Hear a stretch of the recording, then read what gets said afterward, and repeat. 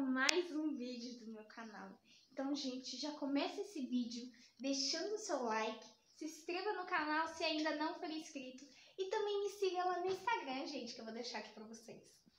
Tolia Araújo 07.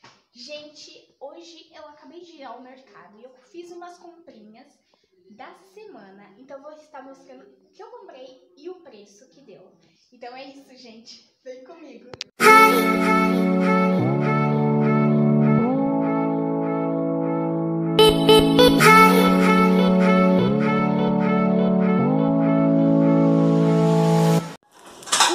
Pessoal, eu cheguei em casa e eu vou mostrar as coisinhas assim que eu comprei. Coisinhas assim mais pra semana e eu vou estar tá mostrando pra vocês. Aqui eu comprei duas baguetes. Eu não sei se aqui em Portugal se diz baguete, mas no Brasil a gente costuma falar baguete. Um, aqui nós temos chouriço, que é, é salsicha, linguiça calabresa, aliás. Nós temos queijo ralado, salame, queijo, fiambre, que no caso é presunto, nhoque, dois pacotinhos de nhoque. Nós compramos esse danoninho também de chocolate. Sobremesa, né? É uma delícia, gente, isso aqui eu gosto. Pastelzinho de nata, quatro unidades.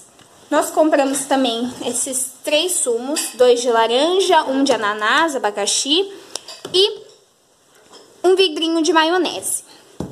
Aí agora vamos aqui para as carnes. Nós compramos coraçãozinho, 1,68, fígado, 97 cêntimos. Nós também compramos essa costelinha, que é intermeada, é 3 e 13. Aqui nós temos 920 quilogramas. Nós também compramos salsicha, que é linguiça no Brasil, e peito de frango, 2 e 18. Aqui a linguiça, 2 e 20. Para finalizar, pessoal, nós compramos esse rolo de papel higiênico. E aqui está o total, deu R$29,40. Lembrando que não dá para ficar invertendo, porque aqui como se recebe em euro, acaba saindo barato, porque se a gente for inverter, isso dá um absurdo, mas para quem recebe em euro, fica bem assim em conta. Então é isso, gente.